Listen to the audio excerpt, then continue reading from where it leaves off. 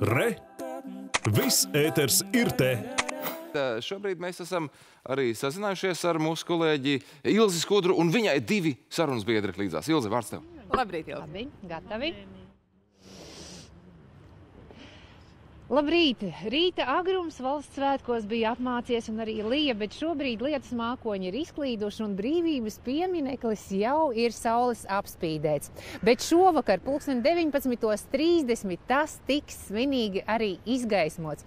Un šorīt man blakus Rūta Dimanta, fonda ziedot vadītāja un Raimons Graube, fonda Namejas valdes priekšsēdētājs. Un abi jūs arī brīvības pieminekļa izgaismošanas fonda biedri. Labrīt! Prieks sveikt jūs valsts svētkos. Un, nu, pirmais jau laikam jāsaka, ka labi padarīts darbs. Jā, labrīt! Sveicienu visiem svētkos! Tiešām ļoti saviņojošs brīdis, jo vakarā mēs redzēsim mūsu brīvības simbolu izgaismotu. Un, manuprāt, tas ir ļoti būtisks tāds simbols arī valstisks, jo ja mēs atceramies, ka brīvības piemineklis ir celts no tautas ziedojumiem, jo jaundibinātajai valstī Latvijai kasē nebija tik daudz naudas. Un, pēc padomju okupācijas, kad mēs atguvām brīvību, tad piemineklis tika restaurēts arī par ziedojumiem, galvenokārt ārzemju tautiešu, trījus tautiešu ziedojumiem. Un, nu, mūsu paudze arī var pielikt savu roku un ar ziedojumiem, pateicoties ziedojumiem, piemineklis tiks celts gaismā. Manuprāt, tas ir ļoti jauka dāvana mūsu valstī. Raimond Graubi, jautāšu jums šorīt tāda svētku sajūta. Kāds ir noskaņojums, ka jūsu sākotnējā iecerē un darbs nu, šovakar tiks arī parādīts visai Latvijas sabiedrībai? Jā, sveiciens visiem svētkos un labrīt! Jā, patiesi ir brīnišķīgs. Tā ir brīnišķīga sajūta. Vienmēr pēc labi padarīta darba ir jābūt un ir laba sajūta. Jo atcerēsimies, ka mēs šeit runājam par mūsu valsts, mūsu tautas, mūsu nācijas galveno simbolu. Un, un, un es vēl aizvakar speciāli no, no, nostaigāju šeit garām, lai nofotografētu viņu savā atmiņā kāds viņš izskatās neapgaismots. Un es zinu, kāds viņš izskatīsies šovakar. Un ar aicinu visus pievienoties un skatīties. Un man ir prieks par to, ka mēs spēsim izgaismot šos būtiskos Latvijas valsts, latviešu vēsturē būtiskos simbolus, kas, manuprāt, bieži vien palika nepamanīti šī vājās apgaismas dēļ. Tur ir gan kultūra, gan, gan, gan izglītība, gan mūsu dziesmu svētki, gan brīvības cīņas. Visi šie simboli tiks izgaismot ne tikai pats mūsu pats simbols mildi, tā teikt, ja kāds atļaujās. Cerams, ka nepārmetīs par šo salīdzinājumu un zvaigznes, bet gan visi, visi mūsu Latvijas vēsturē būtiskākie simboli. Man ir patiesas prieks, ka kad kopīgs, kopīgs darbs, un es arī gribu pateikt paldies visiem ziedotājiem, visiem tiem, kas, kas piedalījās šī projekta veidošanā, tāpat kā līdzīgā veidā, kā piemineklis tapu, kā jau, kā jau Rūta teica.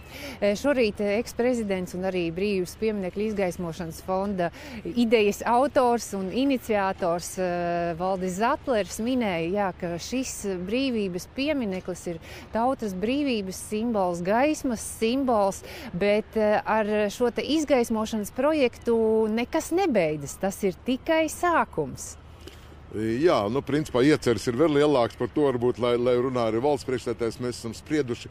Bet viens no tādiem uh, iekšēji apspriestajiem jautājumiem, uh, par kuriem diskutējuši, mēs turpinātu šo aleju izgaismot, lai viņš būtu kā vienots veselums.